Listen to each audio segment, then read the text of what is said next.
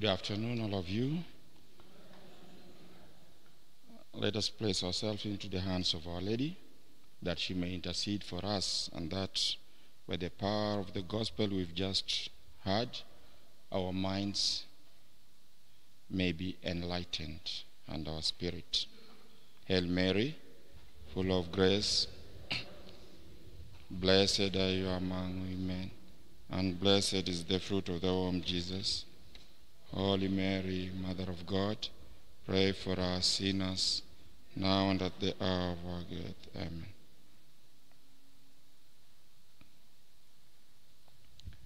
My dear brothers and sisters, once again we are gathered in this church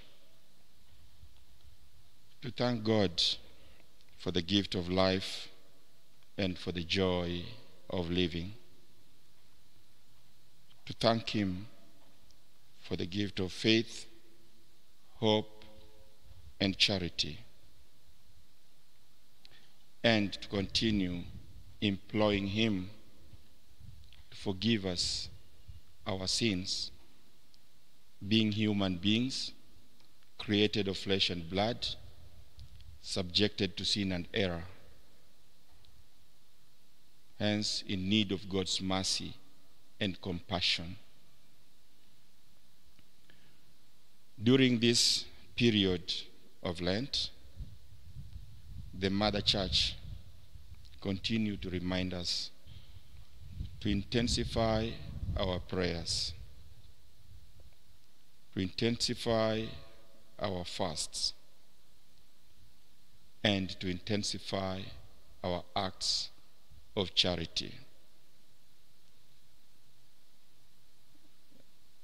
This is what God is commanding us to do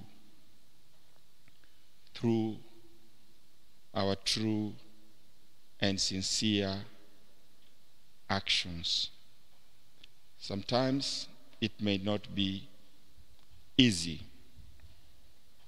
as Jesus has just mentioned in the gospel of today. As baptized people, we have a mandate, an obligation to go out there and to preach the good news and to witness to the gospel what we have heard and what we are hearing even now. But always and many a times,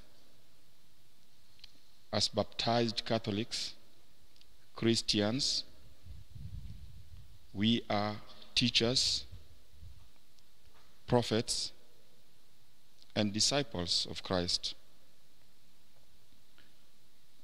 Our words or the message that we pass over to the world may at times not be received easily. Sometimes we can be ridiculed. Sometimes we can be ignored. Sometimes we can be insulted. But we should remain steadfast, faithful, and hopeful, especially during this period of Lent. We are encouraged to be obedient to the Word of God, and especially to those who God have mandated to pass this message to us the priests, the deacons, and all those who have the obligation to preach, including ourselves. Naaman, as we have heard, was obedient to the word of God, to the prophet of God, and as a result, he was healed. Elijah was sent to the widow at Sarepta. And out of generosity, faith, and love for God, the widow was generous to Elijah, the man of God. And as a result of that,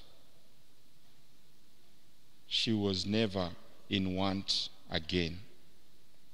We too, as Christians, Catholics, are being implored, being encouraged to be generous to the needy,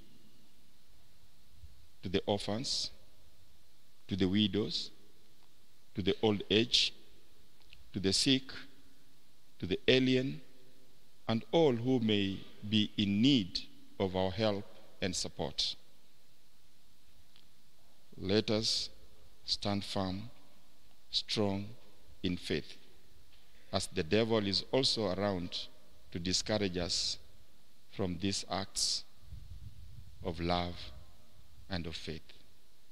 Praise be to God.